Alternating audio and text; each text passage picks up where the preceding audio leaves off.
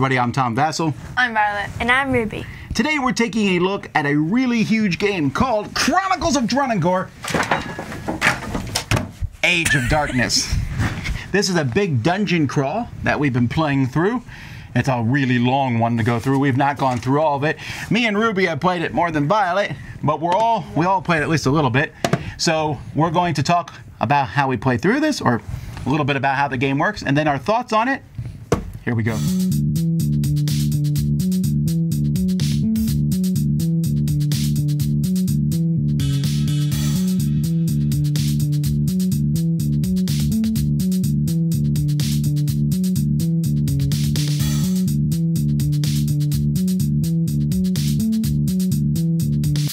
Going to start by showing off the characters in this game because the characters are what the game is all about. Each character has a full blown sheet that you're going to have here. You have a spot at the top to keep track of your hit points, some starting equipment. So, for example, Jaheen, the human cleric here, starts with this uh, bloody sword and with plate armor. These are the starting things, and each character can only carry certain things. So, for example, he can use a light weapon and plate armor. So he has plate armor and a those are the starting light weapon and plate armor things.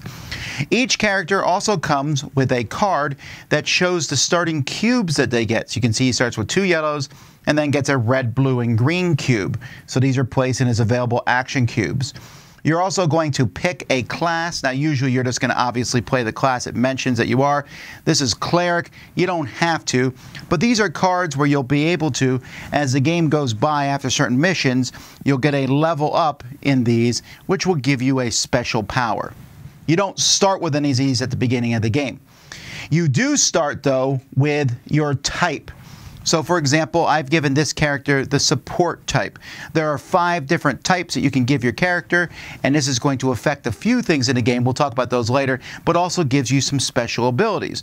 For example, he has this passive special ability that whenever a hero ends movement adjacent to you, they get a shield token. Now, on a player's turn, and players are going to be taking turns based on a turn order track, which I'll show you later, you get to move your character three spaces, which can include diagonal. It shows you right here, and then you use two of your action cubes. So you're going to pick where you put these action cubes. Now, obviously, a yellow cube can go into a yellow space here, but there are some things, if someone hits me, for example, I can put any cube there, any of the four colors, to prevent three of that damage but I have to decide which of these abilities I'm going to use. You'll also notice that my support abilities, things that I can use here, for example, I can pick two targets and heal two, or as a reaction, prevent two damage to two targets. Here I can remove a curse, heal two, and cleanse one. So I have to decide what I'm going to do on my turn. Now, yellow cubes are melee. When I put out a yellow cube, it has to be someone that I'm next to. And so, for example, here I can heal three, and then I get a plus zero hit, which means I'm going to attack somebody. When I attack somebody, you're always rolling a 20 sided die. And then you roll that, you add in any bonus here, it's plus zero, and you compare it to your weapon. On this bloodied sword, I need a seven or higher. So I rolled a three, that's a miss. Had I hit, though, this is the amount of damage that I would have done. Now, you can see all sorts of cool special abilities. Let's show, for example, the assassin here, and we're going to show the shadow, the elf assassin here. She has different abilities that she can do. So she can use the poison blade, which gives a plus three to her roll, and if it succeeds and she does damage to the opponent, then she also gives them a poison one. And I'm not going to go through all the special abilities, but there's a lot of special abilities. Poison, for example, puts a poison token on them, which does one damage each turn. Or she can use corrupted knives, which lets her hit twice, two times, and each one is plus zero. So you have to decide which of these is better. The ranged attacks, the red ones, can be anyone who's within one big square of you. And this one, for example, is another twin throw, zero hit, zero hit. Or this just focuses one and cleanses one, which I'll talk about in a second. The green things hit people pretty much anywhere on the board, except for this one says self. And here's another self when that means it just affects you. So players have to think about what they're going to do a lot with these cubes. Now, when all your cubes run out, you're going to get them back. And sometimes you, you know it comes back automatically. Sometimes if you have only one cube, you choose to bring them back. But then you have to take a curse cube. And you're going to have to pick something that you have and put the curse cube there blocking it. Now, it's not too hard to get rid of these. There's a lot of spots in the board that will say cleanse. For example, here, the support says remove heal 2 and cleanse 1. When you cleanse, that's a way to get rid of poison and also gets rid of a curse cube. And that's good because if you get five curse cubes, then the game's over. You have lost. You don't want to get these. Also, if your hit points ever go down to zero, you kind of restart, but then you're going to take a trauma cube, which is the same as a curse cube, except it's purple, and you're going to block something. And if you get two trauma cubes, then again, the players lose. When you play through the game, you're playing through an adventure book. So this is the one that you would play through. You can play a one shot, but here's, for example, uh, the campaign. And in this campaign, the one that comes in the base game, there's 18 chapters. And so each chapter, there's a lot of text here, and then it shows you your initial setup. And it, there's a bunch of monsters. Sometimes, for example, let's take a look closer look here. Sometimes you'll see here it tells you there's a skeleton archer. And then if there's two players, you add another skeleton archer. Then if there's three players, you add a random gray monster. It could be any monster as long as its background is gray. And then a fourth one adds another gray monster, and a fifth one adds another skeleton archer. And these all start at rookie level. They'll get more difficult. And then you're going to set the board up as it's shown here. The different stars show you where your characters start, and you'll put any tokens and things out, including the very important door. Let's talk about terrain for a second. When you set a scenario up, you're using these game trays, which are made specifically for this, where you can put a piece of terrain on them and you know, you can see that it fits in these different spots. There are ways that you can connect the terrains, whether it's a bridge that goes between the two. Sometimes there's just a lower terrain area in between them. You also have ones like this, where there's two different types of terrain. So you'll be placing you know, for example, maybe I'll put this kind of terrain up here and then down here. And I'm not showing you an actual specific scenario, but you put this here. And then you're going to take all the different monsters and put them under different spots. Now you'll notice on terrain that there are small squares and large squares. Small ones are how you move, unless you're a gigantic monster that takes the whole thing to move from one to the other. And like I said, you can move diagonally. When it comes to range, though, you can hit anybody in the blue squares next to you. So if I'm here, I can attack someone who's adjacent, which would be in these three squares. But if I have a ranged attack, I can hit anyone in all these spaces also. So that's a little bit how ranged work. There's also height advantage. If you are higher than someone, you get a plus two on your d20, and if you are lower than someone, you get a minus two. And then there's other things that will affect, like if you step on this spot, you'll take two bleed tokens, and there's a lot, like I said, or poison tokens if you go in here. There's a lot of different statuses in the game. But what makes the game really unique are doors. This is one of three bags of doors. So when you play a scenario, you're going to take the door for that chapter and put it on top. So let's say, for example, I'm playing chapter one, and I would take this door, and I'm going to place this door here as a free action, and there's several free actions that players can do, you're going to be able to open this door. It will show you how to set up the next area. Sometimes that area will have another door, and then you'll go through that door. It tells you the next story. It tells you special rules that have to affect. It shows you where things are set up. And if you're playing through it again and you don't like this setup, you can scan this code to get an alternate setup. So it's not always the same thing here. And they said that in the future, there'll even be more setups. I went and looked at them, and so far I can only see one alternate setup, but they're talking about having more, so you get another random setup uh, to go through. And when you go through the last one, that's when you'll finish the scenario. Sometimes when you're going through scenarios, you'll run into something, and it will give you a certain number of interactions that you can take. I wish to destroy the darkness. I just want to pass by. I wish for peace. I wish for wealth. I wish for power. Attack the owl. I wish to save Darren. I wish for knowledge. You pick one or two of these, depending on how many times it allows you scenario, but it's not many. When it happens, you will go to that number, you'll read that number, it's in the adventure book, it's like a choose your own adventure, and it tells you what happens. and that's pretty much it. But there is lots of different things that you're going to run into as you go through the course of the adventure, and you're just going to have to decide what to do when you get to these. This is the initiative track, and it's going to show you the turn order that players go in each turn. You're going to put your character, so let's say my character is playing the leader, it tells you the leader character goes here. And if I'm playing, let's say I'm playing Sun and it says that she's support, she would go here. You're going to put them based on where they are. When you get a monster, the monster will tell you this goes above the green rune. So I'd put that monster here, and the shadow cultist goes above the orange or the red rune on here. So when you do a scenario, you start here, you go through, so we get here, the bad guys activate, and it shows you they activate very clearly. They move and attack, and they always go for the strongest hero. And then they have special abilities. Now, this is a, a champion skeleton archer. This is a much more difficult one. There are different levels that you'll come into. Then we get to the hero, and then the hero takes their turn. Well, I have the hero on the wrong side. There we go. And then you go through, and then you get to another bad guy, and then you get to your hero. And depending on how many heroes and how many bad guys, you'll just keep going through. There's also a spot here at the end where there might be a rune that tells you something like maybe add darkness. But this is a unique way to do the track, and you have to kind of work together to figure out who's going to go when and to work together to fight off the bad guys. A big mechanism in this game is the shadow mechanism.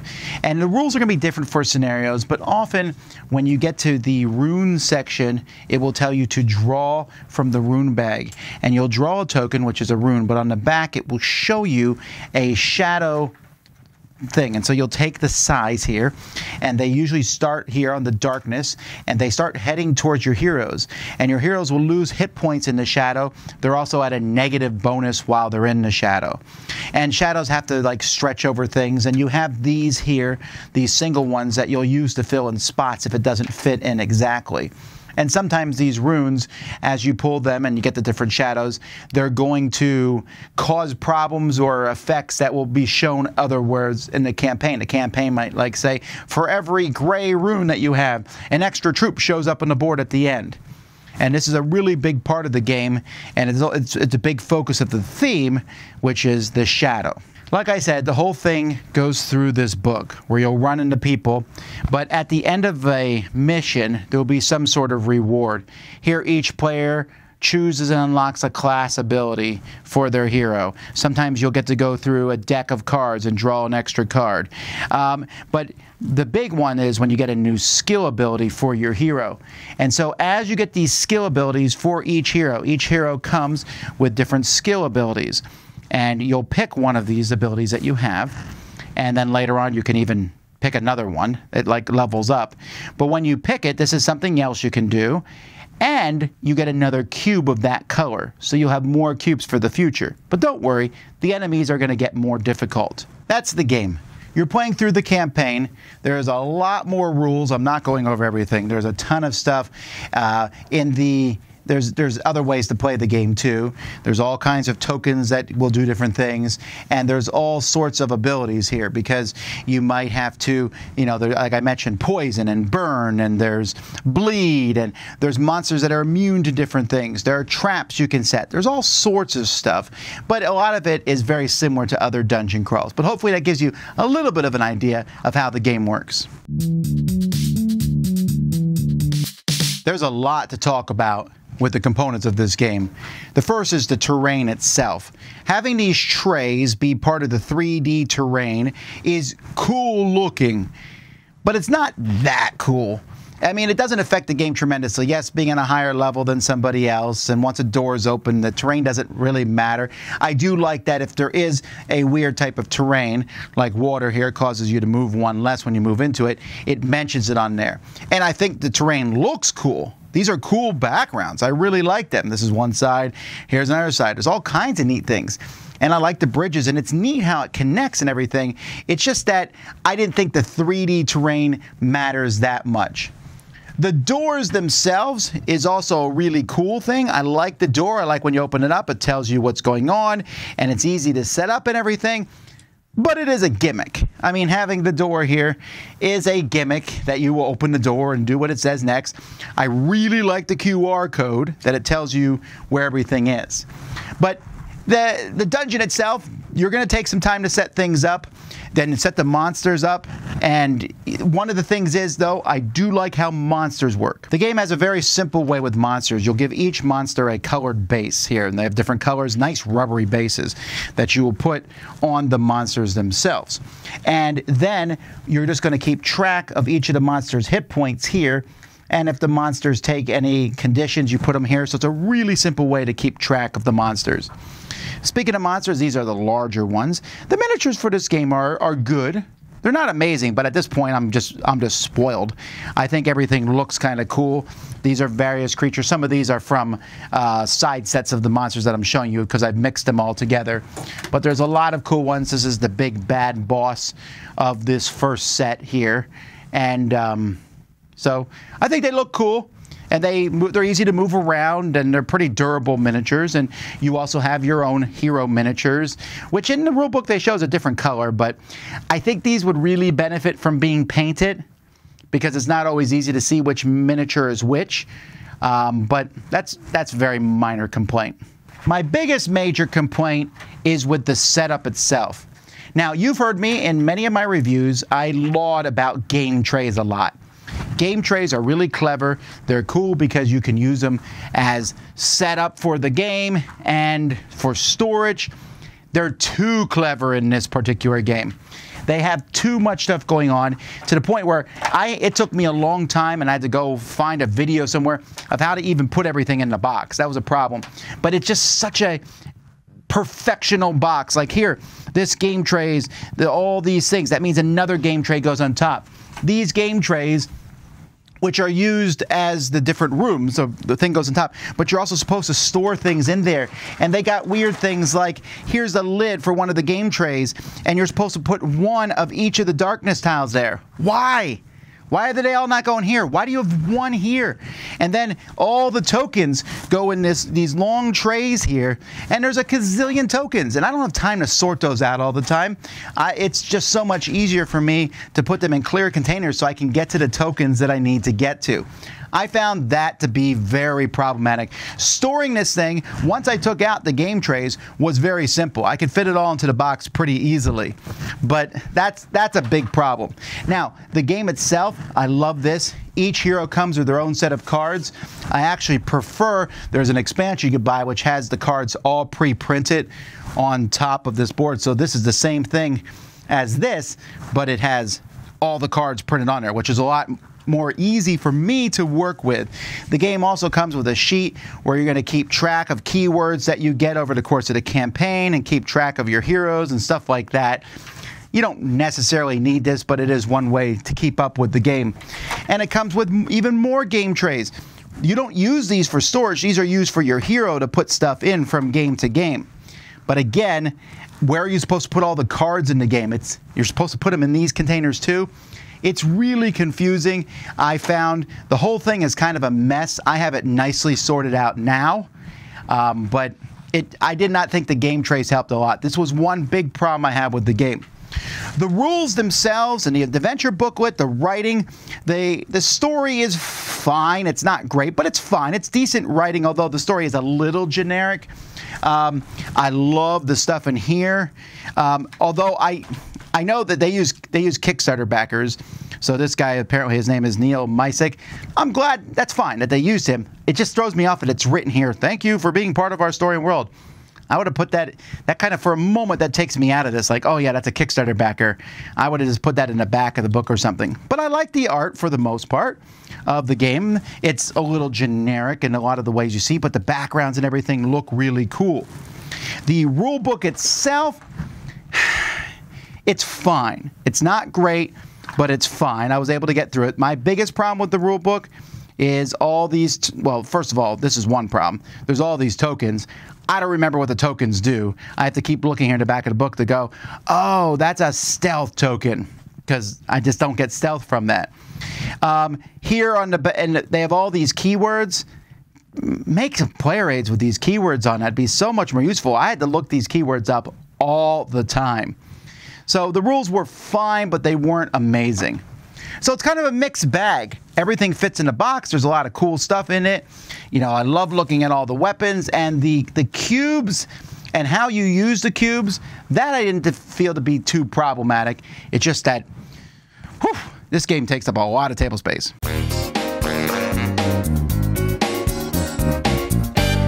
Okay, so there's a lot to talk about this. So let's let's go through the different things. So first of all, I want to talk about my favorite part of the game, which is the cubes. And putting the cubes and using the special abilities on the characters. I love that for two reasons. One, I felt like every turn I had so many cool choices to make, especially as the game goes by, you you get upgrades and things what are you going to do? And do you use a cube to block damage that someone hits you, but then you have a one less cube to put things out? And I felt like the characters were really different. They weren't a little different. Like the main character that Ruby played was a ranger who could summon a wolf or an eagle, and they would go around and fight things. And also she could set traps and and do range combat. And I'm a healer and stuff like that. Some I'm It's just a- basically a better fighter than me. You were an assassin. I could stab people. Close range attacker. and you could go stealth and then hit more damage. Yeah. So what did you all think about the cube part of it? I agree with you. That was great. Yeah, especially the part where like if you use too many, then you'll just get another black cube and that'd be Yeah, the curse cubes were really like stressing you out. I thought one of the, the most difficult decisions is when you get a curse cube, what do you put it on? the one that I never use. Sure, and I say that, and every time, then I want to use it after I put a curse cube on One it. One time I put a curse cube on one of the green ones. Immediately I wanted to take it away, like the next round. It was so annoying. And then if you get two or three curse cubes, you start getting worried. But that, but there's ways to get rid of them. Um, speaking of which, how did you feel about the difficulty of the game? It was very difficult. Yeah, I would agree with that. This was very Fighting difficult. ten monsters in a row, and then like the only healer is this idiot over here. So Well, that's first we're of all, all doomed. First of all, rude. Secondly, here's the thing: it's it's actually not that hard so far. It might get harder in the story, but did we. you guys? The only well, no, fight. we, no, we lost to the, the boss, but I think you're supposed to lose to him. No, you're not supposed to. It's I think- it's fine to. Yes, I, it, it was part of the story. That was the only one that I could really say that we really struggled on. If the we boss were shows up in level two, he's like, "Hi," and killed us. I mean, we we all, we actually came pretty close to beating him, but we didn't. But the story kept going anyway. So then he he's going to show up later. But the normal enemies, we are kind of kicking them all over the place. No one has died yet in our game. Violet You almost hasn't. did, but then you decided to give Ruby damage instead. because I'm a I'm a I'm a I'm a sharing father. Okay, so so you think it's harder? I don't think it's tremendously difficult. I think moving the monsters and attacking with them, it's very basic AI. So that's not too bad. The monster moves and attacks. They just keep coming at you. Some people have a problem with that, but the game is already complex enough otherwise. What did you think about the darkness? That was very, very annoying. I just made sure to stay away from you guys as far as possible because Ruby would always I kept um, end trying shooting to. something at I me. kept trying to give somebody else the bag so they wouldn't draw the six-piece block of darkness. Yeah, Ruby kept drawing the biggest, the biggest darkness pieces, and they spread out, and it's kind of annoying, right? This darkness is coming, trying to engulf the whole dungeon, and you're like running from it every time it shows up. It helps the bad guys out when they're in it. And another thing that annoyed me: first time you ever drew something from the bag, it was a two-piece. That's right, because I am a good drawer from the bag. Now, combat is pretty simple. It's very similar to D&D combat. A D20, you roll, you have to get over a number. 20s are critical hits. They do double damage. Although you had a really cool character that a 1, which is a critical fail for everyone, will turn into a 20. But what did you all think about the combat? um, that was good. Sorry, I don't know why, why it took so no- long to process that. Yeah, I like the combat part. It was interesting, especially like the different ways you could attack people, the different things you do. Like for example, you can boost your attack. You could try going for like maybe a double attack, or just go for this one attack that's really good. But if you miss, well, it's all over. Yeah, Ruby, when we played, Ruby all the time had that tough decision. One really good shot or double shot or even a triple shot. So one of the things I didn't show you in the overview, there's also focus tokens that you can get. Some things will say focus one. You get a focus token. You get enough focus tokens, you use a special ability your character has. So Ruby had one called Eeny Meeny Miny Mo. Three attacks. Yeah, but they're all plus zero, so you still could miss. But it feels really good when you roll that 20, and when you miss, it feels real bad. Yeah. You kept missing. Oh, we all kept missing at different points. But It was also Ruby though. what did you think about the story? Well, So you yawn about it. Okay, got it. sorry, it's fine. The story's fine. I mean, I'm still a little confused what we're trying to do now, but I know the base plot. Like, you're just trying to destroy the darkness, understand what's happening. Well, I Stuff showed like up that. later, so I was very confused because we were just in a dungeon. We met up with this one guy. He poisoned us for some reason. I don't know why. I actually still don't know why. Like I said in the overview, I thought the story was okay. It's not amazing. But what did you all think about the gimmick of the game, which is the trays are the terrain, and then you open the door? I actually really like that fact. I've, I've never really seen a game where you can jump up from board to board. I think the terrain is annoying and I can't attack monsters who are higher than me. Yes, you can. It's just minus two.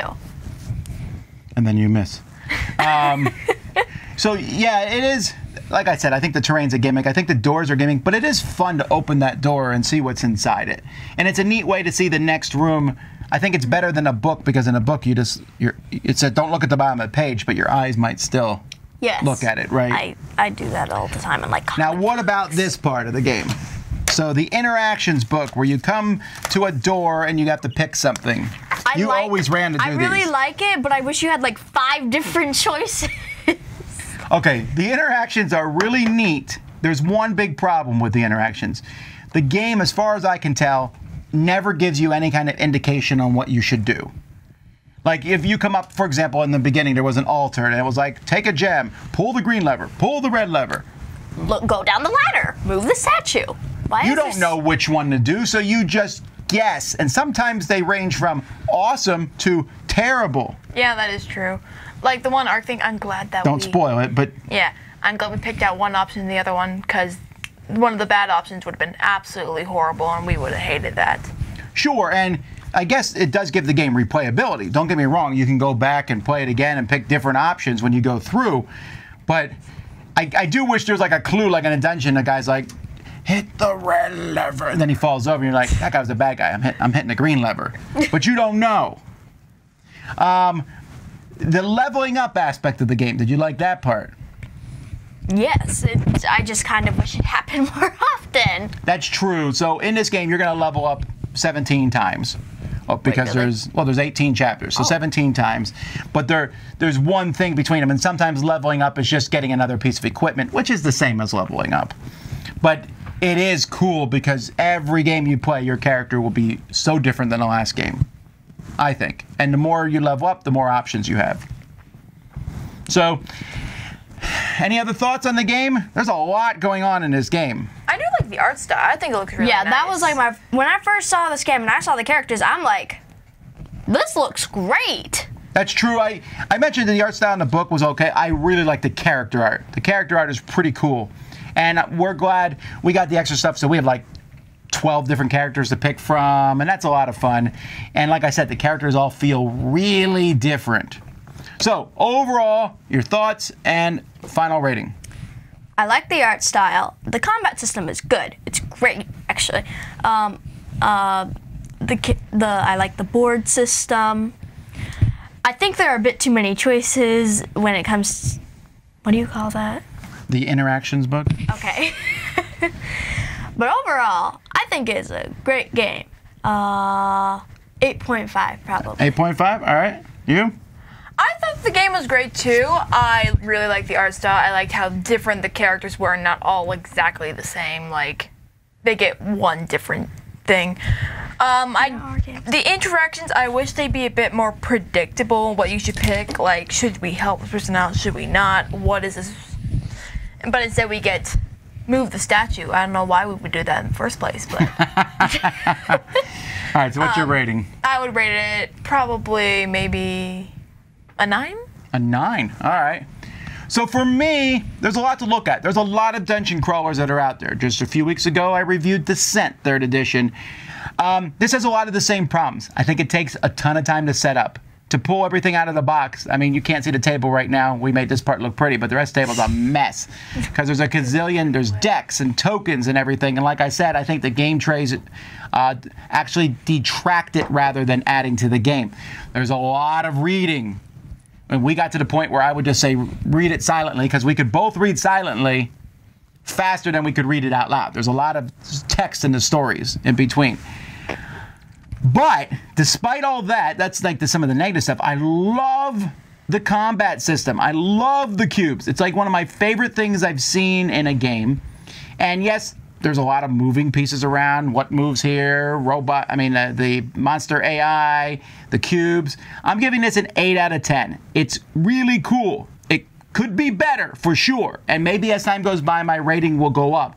But I have a lot of fun playing this. It feels interesting. I'm curious to see what other characters feel like. I, I played a solo by myself as a dwarf, um, which was like a defender, which would had helped more if there had been other characters to defend. Um, and now I'm playing the healer. I don't. The healer's okay. I mean, he keeps the party healed, but I never could do anything cool. I just keep these guys alive so they can do the cool stuff. So And then I always roll ones. you do roll a lot of ones. It was very disappointing when you rolled a two. That's true. Anyhow, that's Age of Drunagor. Until next time, I'm Tom Vasel. I'm Violet. and I'm Ruby. Have fun killing monsters.